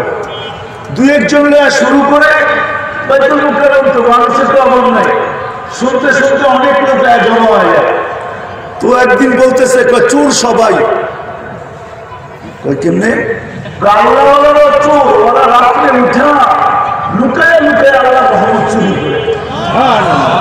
ঠিক না? তো বিক্রি তো আপনারাও হয়েছেন ঠিক না? নাইলে কেন? যেই জিনিসটা নিয়ে বাংলাদেশের সরকার পর্যন্ত ওলামা পর্যন্ত একমত ছিল আপনারা জানেন না? আমি বলতে পারি না। যে এই ঝগড়াটা শুরু হয় ইন্ডিয়ার থেকে। কোথায়? যদিও ইন্ডিয়ার সব মাল আমাদের দেশে আসে, কিন্তু আমরা একমত ছিলাম এই ঝগড়াওয়ালা মালটা আমাদের দেশে আনব না। আমাদের দেশের সরকারও একমত ছিল যে না, এই ঝগড়া ওইখান থেকে শুরু, আমাদের দেশে ঝগড়া ফগড়া নেই। আমরা দীর্ঘদিন ধরে তাবলিক যেটা শিখছি, গ্রামে গ্রামে, গঞ্জে গঞ্জে, বাড়ি বাড়ি, ব্যক্তি ব্যক্তি, শহর শহর, মসজিদ মসজিদ, আমরা বাই বাই হয়ে আমরা করতে থাকব। আর অপেক্ষা করতে থাকব যে ওইখানে ঝগড়া কবে মিটে, যেদিন ঝগড়াটা মিটা দেব ওই দিন আমরা সবাইকে বলব আমাদের দেশে আপনারা আসতে পারেন। যতদিন পর্যন্ত মিটবো না, অতদিন পর্যন্ত আমরা বলব এইটা আমাদের দেশে আনব না। আপনারা আসবেন না। আসলে হইতে পারে আপনাদের শরীরের সাথে ঝগড়া, লাইগা, গ্রাম আমাদের দেশেও চলাইতে পারে। এটা আমাদের দেশের সরকার আর ওলামা একমত ছিল। শুধু আমাদের দেশের দু চারটা মানুষ, এরা ভাবছে যে এটাই মহা সুযোগ এজেন্সি নেওয়া। মহা সুযোগ এজেন্সি নেওয়া। ওনারা বিক্রি হয়ে গেলেন ব্যক্তির কাছে। বিক্রি হয়ে এজেন্সি চুপে চুপে নিয়ে আসলেন। আর আইনা বাংলাদেশে প্রত্যেক হালকায় হালকায়, এলাকায় এলাকায় এসার নিযুক্ত করলেন এসার এসার ছিলেন? এসার ছিলেন? রিপ্রেজেন্টেটিভ। সমস্ত ফ্যাক্টরি আমাদের এসার আছে। কোম্পানির এসার আছে, আপনিও তো ব্যবসায়ী, বুঝেন না এসার এসার আছে। ওনারা প্রত্যেক হালকা হালকা মসজিদে মসজিদে রিপ্রেজেন্টেটিভ গ্রহণ রিপ্রেজেন্টেটিভ ওনারা নির্ধারণ করলেন যে আমরা এজেন্সি নিয়ে আইছি, তোমাদের রিপ্রেজেন্টেটিভ বানাবো। হালকায় হালকায় কিছু রিপ্রেজেন্টেটিভ দাঁড়ায় গেল। আর সব বাংলাদেশে এই ঘটনাকে ছড়ায় গেল। আজকে উলামা একরাম ময়দানে নামছে কেন? এতদিন তো নামে নাই। বলো তাবলিগ থেকে সপ্তাহিত তোমরা করছ না উলামায়ে কেরাম করছে? এই দেশে এই পর্যন্ত ইসলাম জীবিত রাখছে কারা? আমি তো খারাপ বলি না। কেউ আমার সাথে একমত হবে না। তাবলিগ আসার আগ পর্যন্ত আমাদের দেশের ইসলামকে জিয়ে রাখছে। ওলামারা এবং মাসায়েকেরা আল্লাহ ওয়ালারা জৈনপুর ওয়ালারা চরমনাই ওয়ালারা সরসিনা ওয়ালারা এরকম হাজারো আল্লাহ ওয়ালা হক্কানি আল্লাহ ওয়ালারা এখনকার কথা বাদ দেন, এদের পূর্বপুরুষদেরকে আমরা চিনি। পূর্বপুরুষরা আজকের কথা বলতেছি না, পূর্বপুরুষদের কথা বলতেছি। পূর্বপুরুষদেরকে আমরা চিনি, নেসারুদ্দিন সাহেবকে আমরা চিনি এ সাক সাহেবকে আমরা চিনি। আবু বকর আমরা চিনি, জোনপুরের যিনি পান, ওনারাই দেশে ইসলাম টিকে রাখছে। আর রাখছে কতটুকু? এই চড়াইলের মহিলাও যদি ঘর থেকে বাহির হইতো তাই নৌকার ভিতরে পর্দা লাগায় তারপরে উঠতো। এতটুকু টিকে রাখছিলেন। এতটুকু। এই দেশে আলেম ওলামা, কেননা এই দেশের ইসলাম ও নবীনের সাথে এই দেশের এলেমও অনেক পুরাতন। বারোশো আটষট্টি সনে দেশে এলেমের বীজ গুণা হয়। বারোশো আটষট্টি সনে আটশো বছর হইল এই দেশে এলেমের বীজ। হাদিস মাদ্রাসা। আবু সর্বপ্রথম সোনার গায়ে দাওরা হাদিস মাদ্রাসা করেন বারোশো আটষট্টি সনে। ইতিহাস তো জানেন না? এই জন্য একটা ব্যাখ্যা নিয়ে এই কাজটা এই দেশে শুরু হয়েছে। সারা দুনিয়া। উপর যেন দিন পাওয়া যায় কবরের চিন্তা যেন ঢোকে, মমতের চিন্তা যেন ঢোকে, হাসরের চিন্তা যেন ঢোকে, পলসেরাতের চিন্তা যেন ঢোকে, সব যেন এদের মাথায় ঢোকে, এরা যেন দিনের উপরে ওঠে, একমাত্র পাত্র নিয়ে দেয় কিন্তু আজকে ওরা চৌরানব্বই বছর পরে আসে একটা ভিতরে মকানক্য কেন হলো? এই জন্যই বলতেছি, দিনের ব্যাপারে যদি আপনি যাচাই করতে হয় কার পিছে চলবেন? কার কাছে যাচাই করবেন? ফেরকা তো হবেই, এটা তো সত্যই। হয়েই যেতেছে। হাতের করে বইনা, এখনও দেখা যাবে যে হয়েই গেছে পড়ায়। বাদ নাই, কিন্তু আপনি কার পিছে চলবেন? এই জন্য হুজুর সাল্লাহু আলহিউসাল্লাম বলছেন, তোমরা যদি চলতে চাও, তাহলে একটা সম্প্রদায় কেমন পর্যন্ত আল্লাহর কাছ থেকে আমি মঞ্জুর করাই আনছি। কে মঞ্জুর করাইছে? সেটা হলো উলামায় হক। উলামায় উলামায় হক। এদের পিছনে চলবে। এদের কাছে যে যাচাই করবে। আজকে দাওয়াত তবলিগে এই অবস্থা কেন হয়েছে জানেন? আসল জায়গায় চলে আসে। মেহান্নত ছিল কিন্তু সোহবত ছিল না। ছিল? সোহবত? ছিল না। সোহবত ছিল না। আমি কালকেও বলছি মমের সিংহে ওরা পঁচিশ হাজার লোক ছিল। এটাই বলছি সাহাবি সোহবতের টিকা হয়েছে আব্বু অক্কা তারিখই কথা? কোন ওলামা তাহকিক করতে পারে তারিখ টিকা আবু আক্কাস রাদিয়াল্লাহু তাআলা যখন চীনে যায় তখন আঠারো মাসে উনি চীনে পৌঁছেন। আমাদের বাংলাদেশ। আঠারো মাসে উনি চীনে পৌঁছেন। ইসলাম এক দীর্ঘ জমানা পর্যন্ত পৌঁছানোর পরে, কয়েক বৎসর পরে উনি আবার মদিনা মুনাফারা রওনা হন। আমার মদিনায় যখন পৌঁছেন, তখন উনি বাবে মদিনা আছে, একটা বাবে মদিনা। ওইখানে সাহাবির সাথে দেখা হয়। উনি জিজ্ঞাসা করে, আল্লাহ রসুল কেমন আছেন? তো সাহাবি চোখের পানি ছেড়া দিয়া, মাথায় হাত দিয়া বলতেছেন, লব্বা রফিক আল আলা। আল্লাহর জবাব আল্লাহর চলে গেছেন। ক্লান্ত হয়ে মসজিদে নববীতে সালাম দিয়ে ঘুমায় স্বপ্নে আল্লাহ রসুল আসলেন। তাই সে বলতেছে, আবু আক্কাস মা বাস্তু করে আবু আক্কাস তোকে তো আমি ফিরত আসার জন্য পাঠাই নাই তুই ফিরত কেন আসলি? সাহাবিরা সোহবতের জন্য, এই জন্য কিতাবে পাবেন হাকায়াতুস সাহাবার ভিতরে পাবেন। হায়াতুস সাহাবা। আনসার আর মহাজের ভাই ভাই ছিল। ভাই ভাই ছিল। আল্লাহ রসুল ভাই বানায় দিছে আজকে যে আল্লাহ রসুলের মজলিসে থাকতো, সে কাজে যেত না, আনসার যেত কাজে। কালকে আনসার থাকবে আজকে মহাজের যাবে কাজে।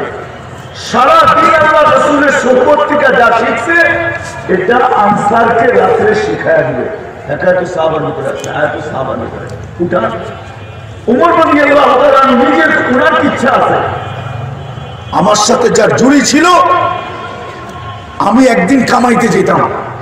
ও শুনতো, আমি একদিন শুনতাম, ও কামাইতে যেত। রাত্রে একজন আমার বসে মজা করা হতো। এটা ছিল সোহবত দাওয়াত ও তবলিগের ভিতরে মেহান্নত ছিল কিন্তু সোহবত ছিল ঠিক। ওলামায় হকানি সোহবত ছিল না। মেহনত করতে করতে চান দিছে মাল দিছে সবকিছু দিছে। বউ পোলাপানকে কাদাইছে নিজে কামলা হয়ে গেছে কিন্তু ওলামায় কেরামের সোহবতে কখনো যায় না যার কারণেই তো তিন চিল্লা দিয়ে আইসা, পাগড়ি ভাঙ্গা, দাড়ি রেখা, জুব্বা পড়া আমি চোখে সুরমা লাগায়া আলমারির সামনে, আয়নার সামনে দাঁড়ায়া মুসকি মুসকি হাসে। আর বাবলা আমিও তো মোটামুটি আলেমের মতোই দেখা যায়। তখনই আলেমদের কোনো প্রয়োজন মনে করে নাইলে আপনি তিন চিল্লা দিলেন গাছে ফল হইলে নিচে ঝুঁকে ঠিক না? ঠিক না? আপনার মাথা উঁচা হলো কি করে? আমি দলিল দিতেছি। আবু বকর সিদ্দিক রাদি আল্লাহ আনহু যার আমল নামা দিয়ে আল্লাহ রাত ঠান্ডা করবে এটা তাবলিক আল্লাহ সবাই বয়ান করে। করেন নাই? জি। হ্যাঁ? ওই আবু বকর বলতেছে উঠকে বসা দেখা গাছের নিচে হেকায়তু সাহাবার ভিতরে আছে ফাজাইলে আমলে আছে। উঠকে গাছের নিচে বসা দেখা বলতেছে, ঠান্ডা শ্বাস নিয়া। হয় আমি যদি তোর মতো হইতাম, কত ভালো হইতো। ঠিক না? আমল মানুষ বলতেছে, এক আমি আমল দিয়ে দিব। রাত্রটা বলো। হিজরতের রাত্রে যেদিন তুমি আর আল্লাহ রসুল দুজনে একসাথে গুহার ভিতরে ছিলাম ওই রাত্রে সবটা আমার দিয়ে দাও। উমর রদি আল্লাহ তালুকে চিনেন? ওনার মানাকে জানেন না আপনারা। রাত্র পার হয়ে যাব আমি বলতে শুরু করলে আলহামদুলিল্লাহ, যতটুকু সিনার ভিতরে আছে। ওনার মানাকে, উনি কে? কোন ব্যক্তি? আয়েশা রাদিয়াল্লাহু বলতেছে বলতেছে, শোনো, যেদিন আল্লাহ আমিরুল মুমিনিন আবু উমর রাদিয়াল্লাহু আনহু দুনিয়া থেকে বিদায় নেয় আর আম্মা জানের নিজের শোয়ার জায়গাটা যখন আমিরুল মুমিনিনকে উঠে দিয়ে দেয়, আর যখন লাশ আইনা রাখা হয়, তারপরে অনুমতির জন্য যাওয়া হয়, তো আম্মা যান চোখের পানি ছেড়ে দিয়া সাহাবাদেরকে কাছে পয়গাম পাঠাইছে তোমরা সবাই আল্লাহ রসুলের হাতে আইসা মুরিদ হইছ ছিল এই ব্যক্তিকে। এই ব্যক্তিকে আল্লাহ রসুল চাইতে চাইতে চাইতে চাইতে চাইতে চোখের পানি জড়াইতে জড়াইতে আল্লাহ ভান্ডার থেকে নিয়ে আসছে। এটা হলো ওই ব্যক্তি। এতটুকু শোনাই তোমরা চিনো আছে ওই ব্যক্তি বলতেছে জিন্দিগি আমল দিয়ে দেবে। এক রাতের আমল। যেদিন তুমি আল্লাহ রসুলের সাথে গুহায় ছিলা তাও বকর সিদ্দিকরা দিয়ে আল্লাহ তালা কয় একটাই তো কেশ কাট দিয়া দিলে আর থাকব কি? একটাই তো ক্যাশ কার্ড আর দিয়া দিলে থাকব কি? বুঝলাম না ক্যাশ কার্ড মানে? এটাই তো আছে আমার কাছে কেমতের দিন এটা ভাঙলাম। এটাই তো কেমন শুক্রম স্বামী ঘুমা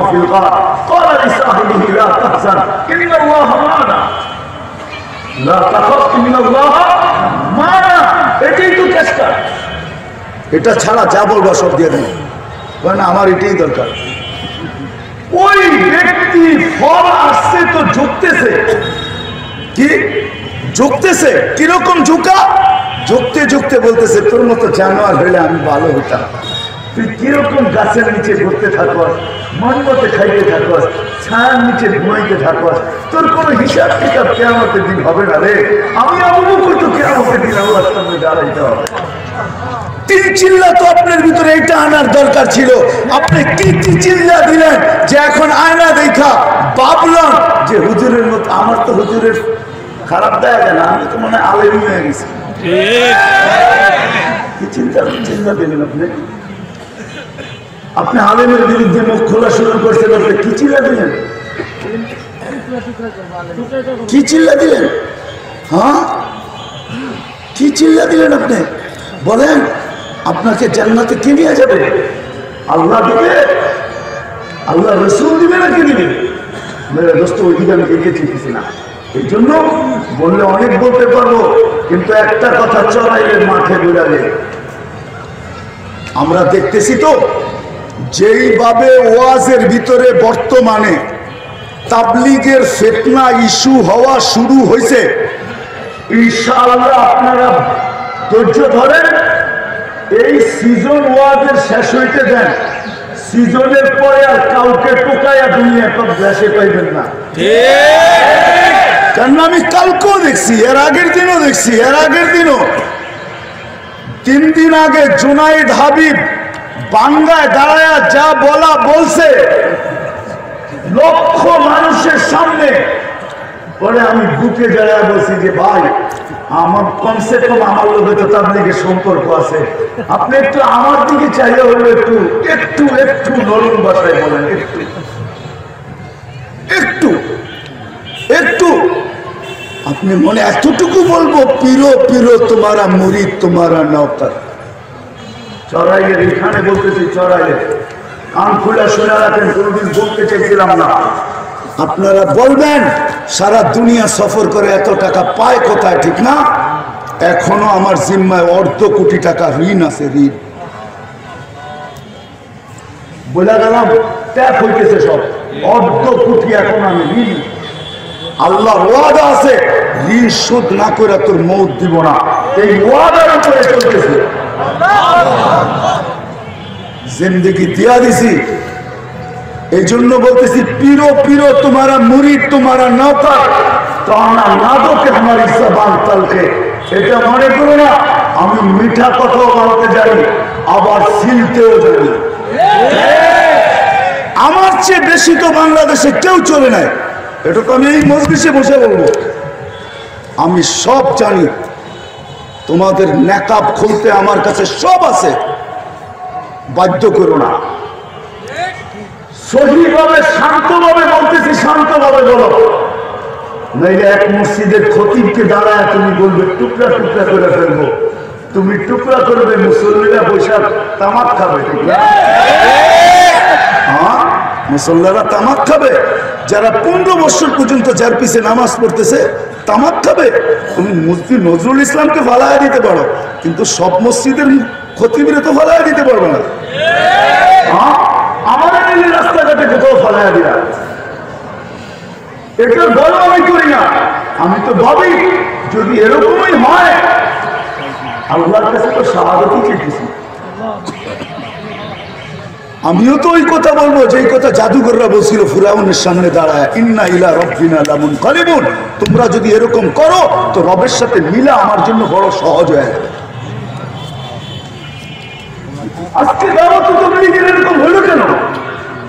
চোরানোর কি বছর হলো না। কি দরকার ছিল রসুলের বিরুদ্ধে বলা? কি দরকার ছিল সাহাবাদের বিরুদ্ধে বলা? কি দরকার ছিল ওলামাদের বিরুদ্ধে বলা? মসজিদে ইমামতি করে পয়সা নিলে হ্যাঁ পতিতা মহিলার কা- কামার চেয়েও নিকৃষ্ট? তো তোমার পূর্বপুরুষ তো ইমাম ছিল।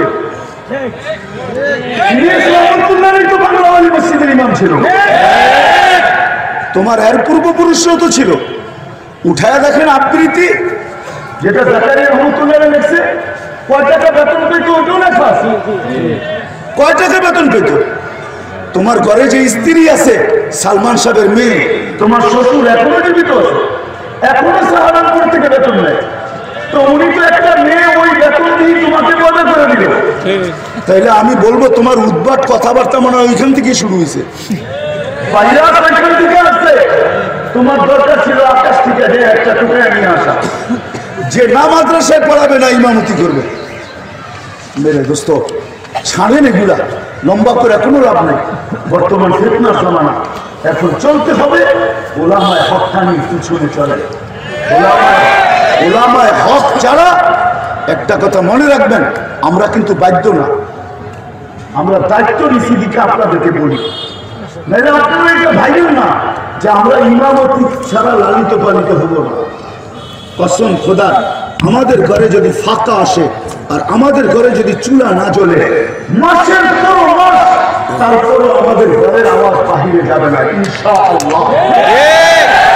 ওলামাদের ঘরের আওয়াজ বাহিরে যাবে না। আমরা মাদ্রাসার জন্য ভিক্ষা করতে পারি, কিন্তু নিজের জন্য করব না। আমরা রাত্রে উঠা কানবো আপনি এটা না যে ইমামতি চলে গেলে কেমনে চলবো? মাদ্রাসা বন্ধ হয়ে গেলে কেমনে চলবো? আরে যেদিন ইমামতি বন্ধ হবে আর মাদ্রাসা বন্ধ হবে ওই দিন আপনার বাড়ি কেমনে বন্ধ আল্লাহ করবে ওইটাতে চোখে দেখবেন।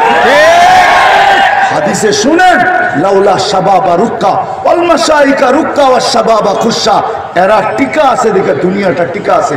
আমি সব ওয়াজে বলি, বাংলাদেশ লড়ে চড়ে কিন্তু পড়ে না। কেন পড়ে না? দশ হাজার হেফজোখানা আছে বাংলাদেশে। রাত্রে চারটার সময় উঠে আল্লাহর সাথে কথা বলে। ওই কথার কারণে বাংলাদেশ লড়ে চড়ে কিন্তু কোনোদিন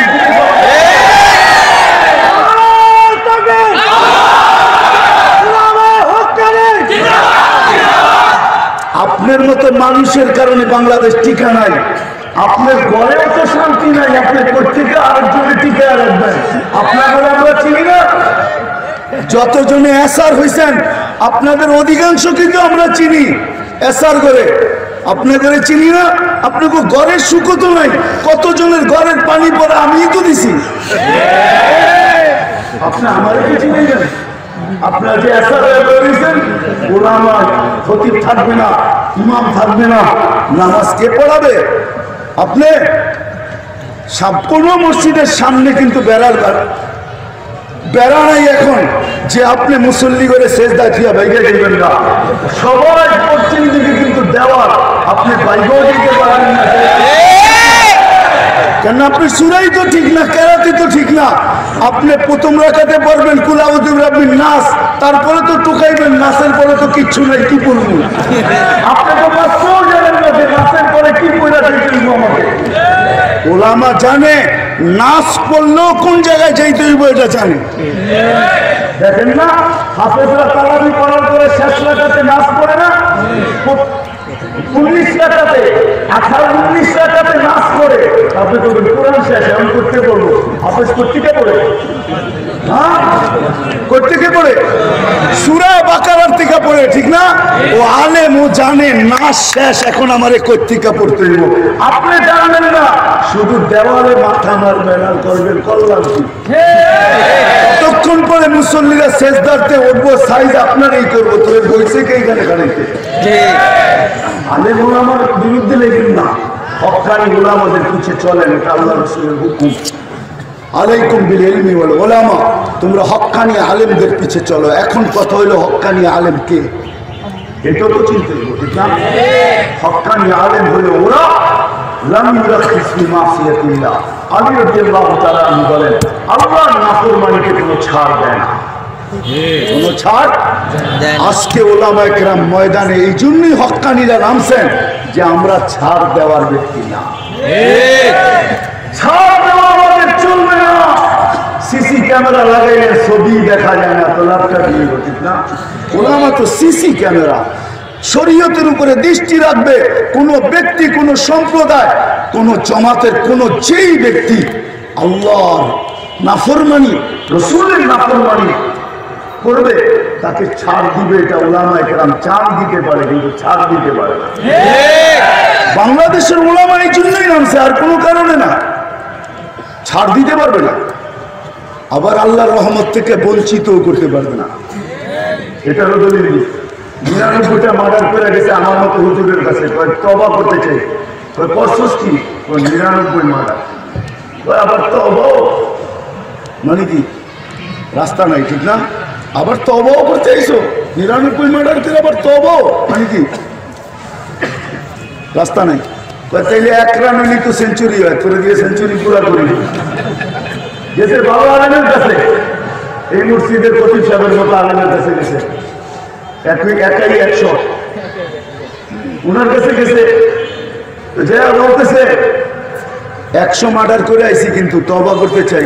মাত্র একশো একশো মানে কি রাস্তা আছে ঠিক না? এখানে তো দেখা যায় রাস্তা আছে। তা কি করতে হইব? আটটা আটটা এলাকা ছাড়া এলাকাটা ভালো না। তো কই যেতে হইব? তো অমুক গ্রামে যা ওইখানে কিছু লোক তোর মতো আছে দিন শিখতেছে ওদের সাথে যে আমি। কাহিনী লম্বা।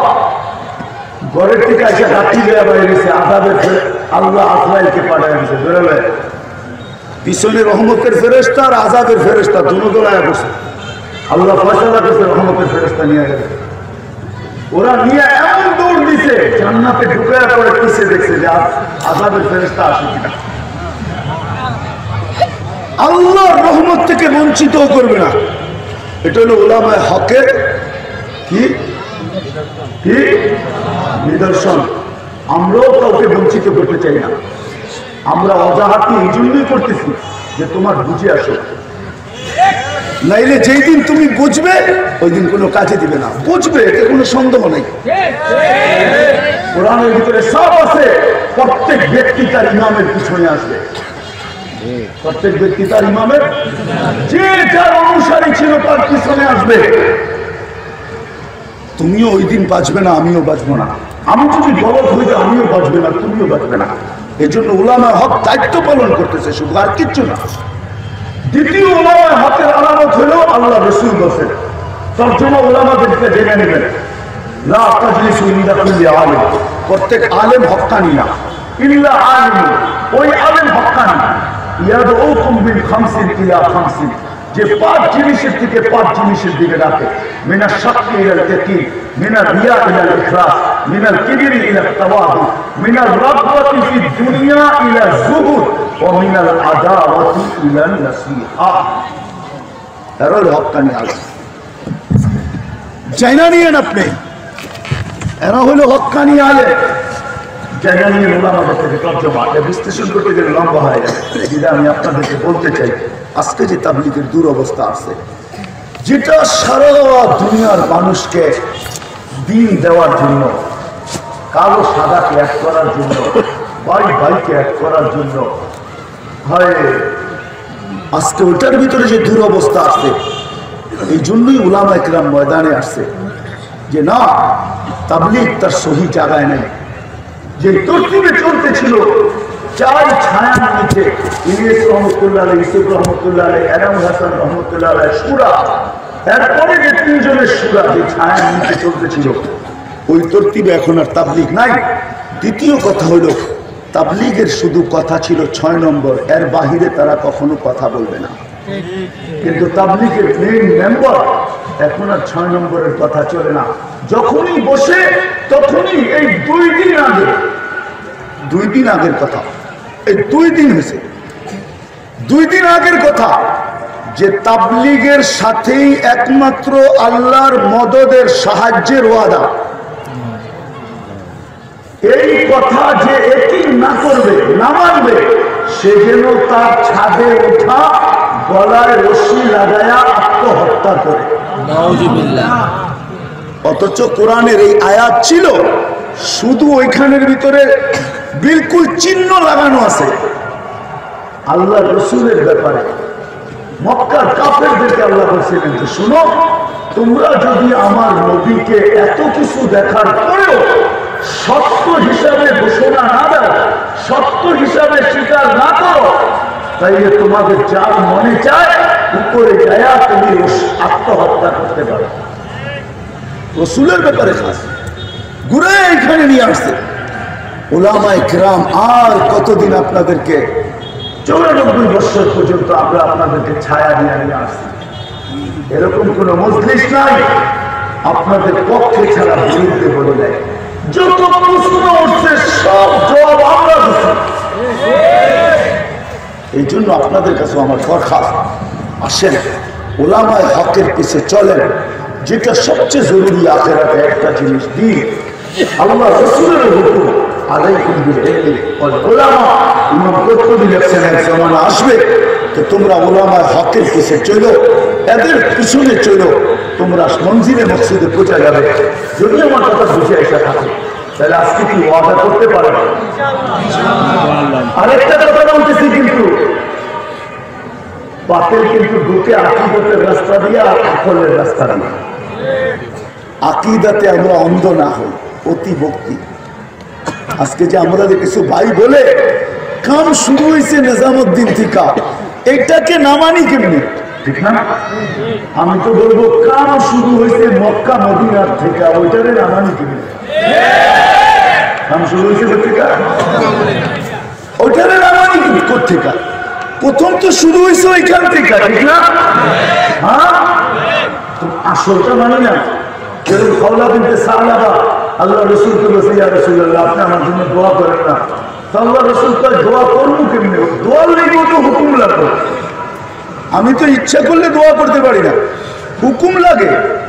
হাত উঠাইতে হইলে হুকুম লাগে।